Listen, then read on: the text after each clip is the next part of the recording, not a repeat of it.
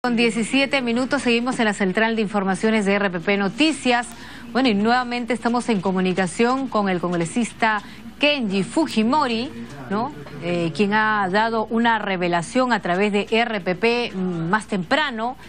Y, e incluso el congresista José Gutiérrez le ha respondido. Congresista Fujimori, muy buenas tardes. Estamos en multiplataforma, radio, web y televisión. Bueno, lo que ha dicho el congresista José Gutiérrez es que él no lo buscó a usted, sino que usted le hizo una invitación a su despacho que él cordialmente aceptó y ahí decidieron abordar sobre temas parlamentarios y sobre todo sí admite que le pidió a la bancada fujimorista bajar el tono de sus críticas, dice de sus ofensas para este, terminar bien el gobierno, pero que en ningún momento, dice, condicionó esta conversación con el tema del indulto a su padre, el expresidente Alberto Fujimori. Congresista eh, lo escuchamos. Muy buenas tardes, Raquel. Mira, he escuchado al congresista José Gutiérrez y me reafirmo en sostener que el congresista Gutiérrez me buscó con insistencia y fue incluso a mi despacho en donde me pidió muy amablemente que por favor bajara el tono de oposición porque ellos quieren terminar bien su gobierno. Y, y es cierto, él me tocó el tema de mi padre, ya a buen entendedor, pocas palabras. ¿Le, tocó el tema de su padre en medio de esta conversación para que ustedes bajen el tono de sus críticas? Por supuesto, aunque ahora el congresista Gutiérrez, vocero y amigo de la pareja presidencial, lo quiera negar ahora, ¿no? Sí, porque él dice que fue un tema aparte, ¿no? Dice que no, tiene, no tenía nada que ver con el tema de ese momento, que era que bajar el tono de las conversaciones, de que haya un, que los ánimos sean más distendidos, que no fue una condicionante el tema del, indulto a su padre. Raquel, cuando él ingresó a mi despacho, yo le dije, Josué, tú eres vocero de la bancada oficialista. ¿Tú vienes como Josué Gutiérrez o vienes en representación de...?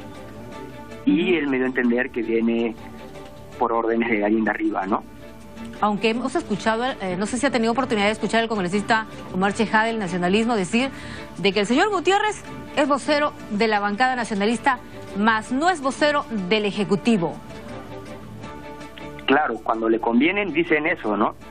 Pero todos sabemos que el señor Gutiérrez es una persona muy cercana a la pareja presidencial, sobre todo a la señora Nadine Heredia. Para José Gutiérrez también fue eh, claro en señalar de que el presidente Humala no sabía de este encuentro y de esta conversación que sostuvieron en su despacho, que el presidente de la República no sabía nada. No sé, entonces eso lo tendrá que explicar el señor Gutiérrez a su bancada, a su agrupación.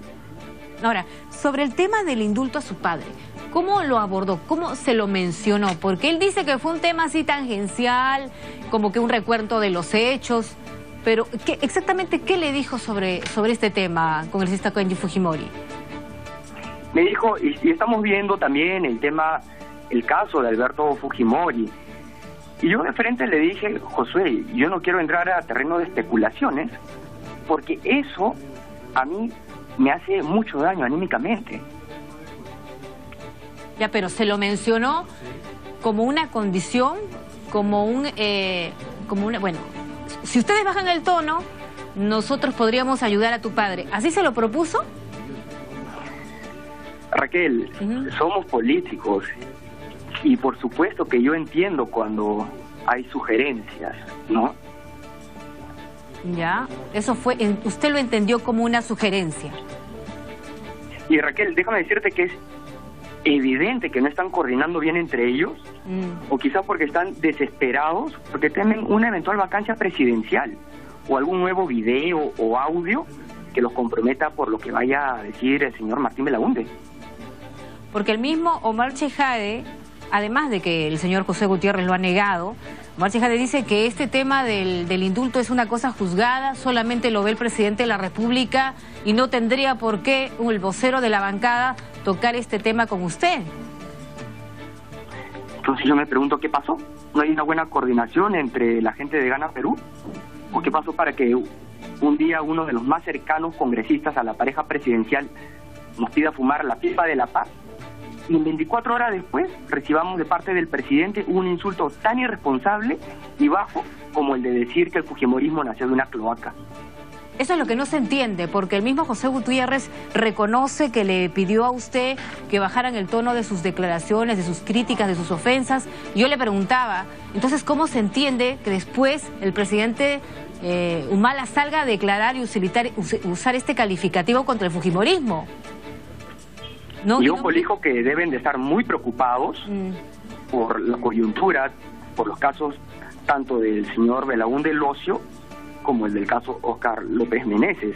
Ahora, él insistió, o sea, fue eh, muy claro en señalar que él no lo buscó, sino que usted a través de su asesor, asesora, no me acuerdo muy bien, usted pidió este encuentro. ¿Hay manera de probar de que es, falso. dice la verdad? Es falso que en esto tuviera que ver mi asesora, porque él mismo me llamó al celular insistiendo en la reunión e incluso Raquel me buscó en el pleno. O sea, él miente. Bueno, las llamadas están registradas en el celular. entonces, ¿cuál habría sido la intención de buscarlo si después el presidente iba a salir a dar este a dar esta declaración y a emplear este calificativo? ¿Cuál habría sido el objetivo entonces? Bueno, es evidente que están nerviosos porque yo estoy seguro que dentro de poco van a capturar a Martín Belaunde porque en estos ocho meses ya deben haber negociado lo que él tiene que decir.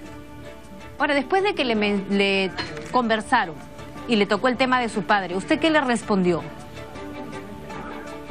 Yo le dije, Josué, yo no quiero entrar al terreno de especulaciones, porque eso es un tema que a mí emocionalmente me, me produce bastante desgaste.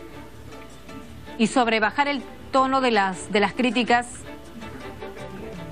yo le dije, José, todo lo que estamos conversando, así como tú vienes en calidad de vocero, yo lo voy a comunicar todo esto. Mm. Y ahí quedó. Y ahí quedó.